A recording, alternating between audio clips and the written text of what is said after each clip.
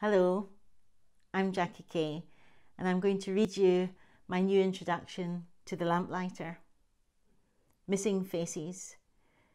We're perhaps over fond of dates, of going around in circles of a hundred years to mark the birth of or the death of, trying to grasp, as we all get older, what time means, and particularly in these COVID 19 days and nights when we all feel vulnerable, when we feel mortal. Anniversaries give us a perfect excuse to try and catch up on what we already should have caught up on. Anniversaries afford us a big, noisy opportunity to try and remember what we should not have forgotten. But all of us who've ever loved know that it doesn't take an anniversary of a death to remember our dead. And all of us who have ever loved know that the dead have a way of staying around as long as we're here, still loving them. Then, in a sense, they're still here too. We often distance ourselves from the people who once were slaves, as if they didn't have mothers and fathers, or as if they didn't become mothers and fathers themselves. But for those of us who are descended from slaves, those men and women are ancestors, great, great, greats. They are the long and lost family. Slavery is one of those subjects we all think we know about, People repeat like a litany the facts they think they know. Men were shipped, packed like sardines, as in the famous Brookes slave ship drawing commissioned by Thomas Clarkson, the abolitionist. The Africans sold their own people. This gets mentioned so often as if the reiteration of African complicity diminishes responsibility. But what spirit, eh? The African people. Mind you, there's always been slavery the ancient Romans were at it, and so on, and so on. We're closed off to any more detail about slavery. We don't want to know. We don't want to imagine how slavery would affect each of the five senses. Too much information about the actual experience of it fills most ordinary people, black and white, with revulsion or worse, induces boredom. We seem to think we've heard it all before. When the BBC radio producer Pam Fraser Solomon first asked me to write something to mark the 200th anniversary of the abolition of slavery in 2007, I replied that I thought enough had been written about slavery, that I didn't want to be pigeonholed as a black writer. Black writers are often expected to write about slavery and race. I also thought I knew a lot about the period and had written the odd poem. I had a long conversation with Pam and she persuaded me that I was wrong. I realised that the past was not past as Faulkner had it, and that many of the inequalities and divisions in our society today were the direct result of the slave trade. I felt fired up then by a moral imperative. There can be no such thing as too many stories about slavery. I took Toni Morrison as my guide in realising there was more future in the past than there was in the future. Months later, having immersed myself in original accounts and research, I realised how ignorant I was. The lamplighter emerged out of these shocking original testimonies and focuses on the lives of four women Black Harriot, Constance, Mary, and the lamplighter during hundreds of years of enslavement. As I wrote it, I felt as if I was writing a love letter to my ancestors. I emerged from the experience wondering how I would write about anything else. Most British people think of slavery as something that happened in America, perhaps the Caribbean. They know vaguely about boats, Bristol, Liverpool, and something about sugar maybe, but not that Britain was the main slave trading nation. Nor do they know the details of what that meant. For example, that two days before a slave ship docked, it could be smelt, the putrescence of blood feces, vomit, and rotting bodies carried downwind into the port. Being African and Scottish, I'd taken comfort in the notion that Scotland was not nearly as implicated in the horrors of the slave trade as England. Scotland's self image is one of a hard done to wee nation, yet bonny and blithe. I once heard a Scottish woman proudly say, We don't have racism up here, that's an English thing, that's down south. Scotland is a canny nation when it comes to remembering and forgetting. The plantation owner is never wearing a kilt. It was a not so delicious irony that the anniversary, the bicentenary of the abolition of slavery, was also the tricentenary of the union between Scotland and England, a union which allowed Scotland to profit from the slave trade in a big way and changed the face of Glasgow in particular. When Bishop Pococke visited Glasgow in 1760, he remarked that this city, above all others, felt the advantages of the Union in the West Indian trade, which is very great especially in tobacco, indigos, and sugar. I belong to Glasgow, dear old Glasgow town, but alas, there's something the matter with Glasgow that's going round and round. Glasgow does not readily admit its history in the way that other cities in the United Kingdom have done Bristol, Liverpool, London. Other cities now hold major events to commemorate the abolition. What's happening in Glasgow? in the Gallery of Modern Art, for instance, which was originally built in 1778 as Cunninghame Mansion, the splendid house of William Cunninghame, a tobacco baron, or in Buchanan Street, the great shopping street named after Andrew Buchanan, another tobacco lord, or in Jamaica Street, Tobago Street, the Kingston Bridge. There has been some belated progress there is a move afoot at last to have a Scottish slave museum, and we've also seen Glasgow University's pioneering decision to start making repayments to the University of the West Indies.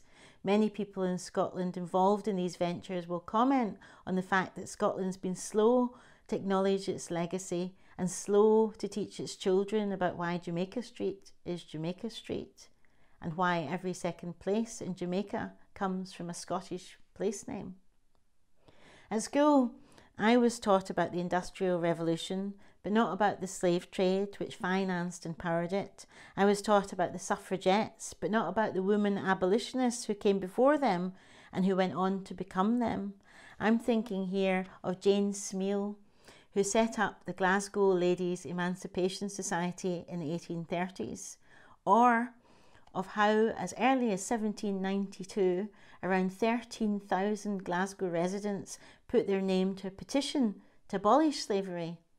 I never learnt, for instance, that the movement to end slavery in the British Empire in the 18th century is probably the first human rights campaign in history. What else? I was taught about James Watts's steam engine. In Balmuildy Primary School, I was in the house group Watt. We had four house groups Baird, Carnegie, Fleming, and Watt. I was proud of Watt's steam engine, but I was not taught that money from a slave trader financed his invention. I was taught my times tables the old fashioned way by rote, but not taught about the triangular slave trade, the three legged journey British slave traders undertook. At school, I learned that Glasgow was a great merchant city. I learnt about the shipping industry, but not about the slave ship Neptune that arrived in Carlisle Bay, Barbados on the 22nd of May 1731 after leaving Port Glasgow months earlier, carrying 144 enslaved Africans, half of whom were children. When they arrived, they were polished, meaning a layer of skin was removed with fierce scrubbing and a wadding rammed up the rectum of those who had dysentery and then put up for sale. I learned about the French Revolution, the Russian Revolution, but not about the Demerara rebellions, the St. Kitts uprising. I learned about clans and clan names and kilts and the differing tartans and the Highland clearances, but not that in Jamaica in 1770 there were a hundred African people called MacDonald, or that a quarter of the island's people were Scottish. There was a network of Argyll Campbells, at least a hundred strong in Jamaica too, concentrated on the west of the island, where the place names were nostalgic Argyll, Glen Isla. Yet Scotland never acknowledges the existence of the Scottish plantation owner, who was often as cruel as his English or American counterpart. It almost seems anti Scottish to imagine all those McDonald's out there in Jamaica stuffing their faces on mutton broth, roast mutton, stewed mudfish, roast goose, and pawpaw stewed giblets, fine lettuce, crabs, cheese, and mush melon, or knocking back punch, porter, ale, cider, Madeira, wine, and brandy. This is from a true account of a plantation owner's meal in 1775, while the enslaved Africans got whipped for sucking a sugar cane. Remember Roots? I remember running home from school excited on the night it was on television. Remember the characters Chicken George, Kunta Kinte, Cassie. It was the first time that I remember seeing black people, a whole lot of black people on television. Before Roots, I had to make do with a nurse in the Angels and Trevor McDonald, and perhaps during Wimbledon, Yvonne Goolagong. A few years ago, I went to Manchester's Corner House to watch BBC Black Archives footage of early interviews with Sir Learie Constantine, the cricketer from 1966. It struck me how unusual it still is to see black people, even from the near past, captured on screen.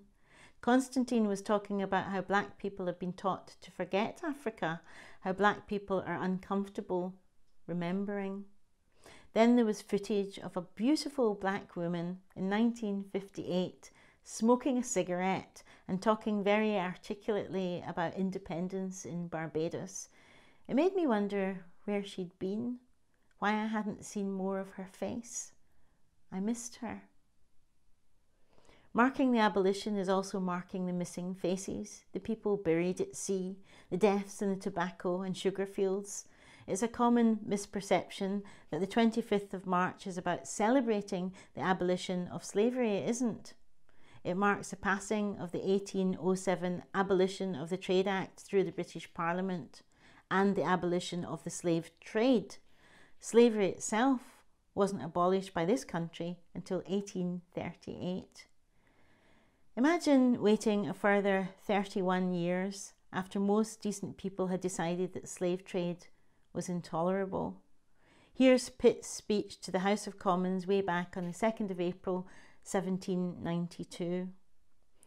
We may now consider that this trade, as having received its condemnation, that its sentence is sealed, that this curse of mankind is seen by the House in its true light, and that the greatest stigma on our national character which ever yet existed is about to be removed. If someone asks me to write something to mark the abolition of slavery in 2038, I'll be 76. Imagine the frustration of being an enslaved African in 1807, knowing that the trade was supposed to have been stopped because people in Britain had decided it was evil, and still being subjected to endless beatings and whippings, and still not getting a sniff of free air for another 31 years. It's time that Scotland included the history of the plantations alongside the history of the Highland clearances a people cleared off their land and taken from the slave coast, the Ivory Coast, the Guinea Coast, to a new land, forced to board a ship and taken on a nightmare journey from hell. One third of African people did not survive their journey in ships where they were packed more tightly than in a coffin. One African woman in three did not survive the first three years in her new country.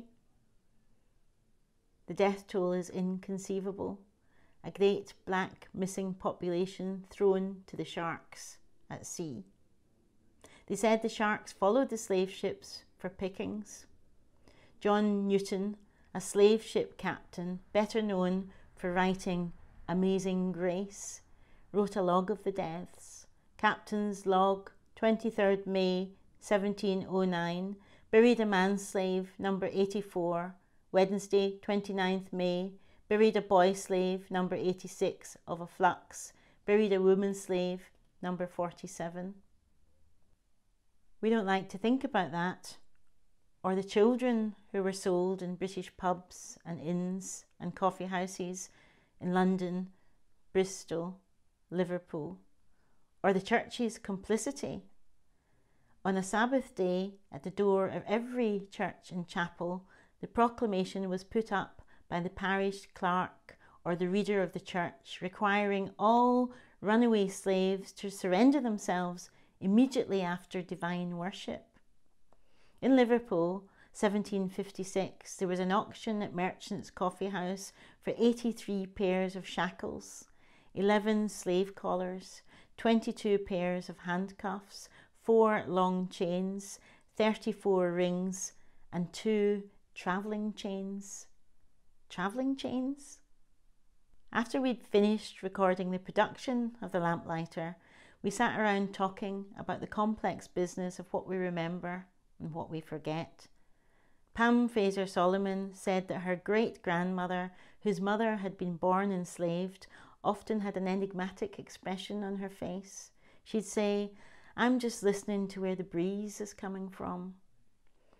I thought of all the silences, the silences from African people who do not want their children to hear about slavery, and from white people who do not want to discuss the family tree with its roots in a plantation in the Caribbean. The history of the slave trade is not black history to be shoved into a ghetto and forgotten, or to be brought out every hundred years for a brief airing, then put back in the cupboard. It's a history of the world. It concerns each and every one of us. Here's Pitt to Parliament again in 1792, and Sir, I trust we are now likely to be delivered from the greatest practical evil that has ever afflicted the human race, from the severest and most extensive calamity recorded in the history of the world.